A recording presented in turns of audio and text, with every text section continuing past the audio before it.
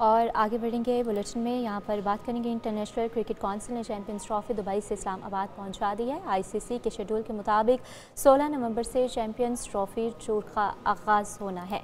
यहाँ पर आपको बताएँगे कि इस मौके बदतरीन सूरत हाल है और साफ़ क्रॉस कंट्री एथलेटिक्स चैम्पियनशिप चंद माह के लिए मुलतवी कर दी गई है। एथलेटिक्स फेडरेशन का कहना है कि साफ़ क्रॉस कंट्री एथलेटिक्स चैम्पियंस का इनका चौबीस नवंबर को इस्लामाबाद में होना था। इस मौके सूरत हाल पर हुकूमत और साफ़ हुकाम से मुशावरत के बाद फैसला किया गया है। चैम्पियनशिप की नई तारीखों का ऐलान बाद में मुनासिब वक्त पर किया जाएगा।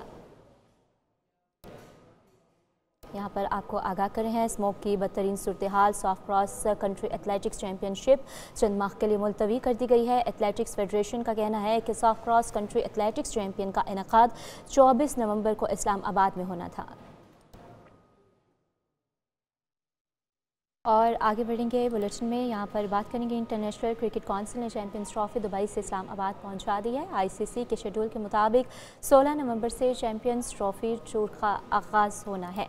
यहाँ पर आपको बताएँगे कि इस मौके बदतरीन सूरत हाल है और साफ़ क्रॉस कंट्री एथलेटिक्स चैम्पियनशिप चंद माह के लिए मुलतवी कर दी गई है। एथलेटिक्स फेडरेशन का कहना है कि साफ़ क्रॉस कंट्री एथलेटिक्स चैम्पियंस का इनका चौबीस नवंबर को इस्लामाबाद में होना था। इस मौके सूरत हाल पर हुकूमत और साफ़ हुकाम से मुशावरत के बाद फैसला किया गया है। चैम्पियनशिप की नई तारीखों का ऐलान बाद में मुनासिब वक्त पर किया जाएगा।